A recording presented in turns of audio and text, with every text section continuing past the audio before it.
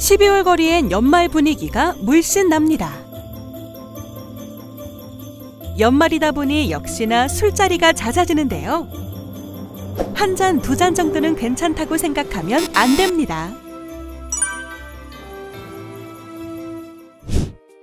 그렇다면 술을 마시고 자전거를 타고 귀가하는 건 현행 교통법에서 자전거와 전동 킥보드 등은 모두 차에 포함됩니다.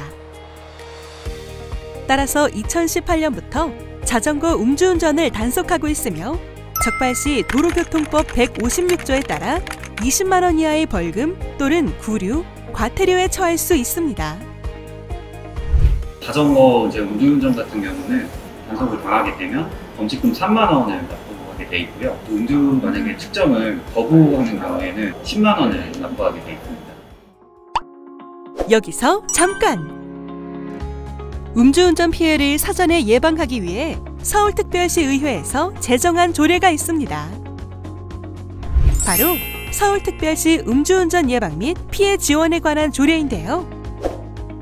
음주운전 예방을 위한 시책 수립 및 추진, 시민 음주운전 위험 인식 증진 계획 수립 및 시행, 자동차, 자전거 등 수단별 음주운전 예방 계획 수립 및 시행, 음주운전 예방 관련 홍보 및 캠페인 실시, 음주운전 사고로 인한 피해 회복 지원 등의 내용을 담고 있습니다.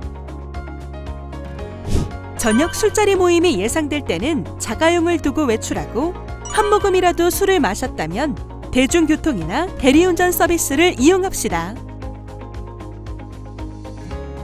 음주운전 없는 안전한 연말연시 보내세요.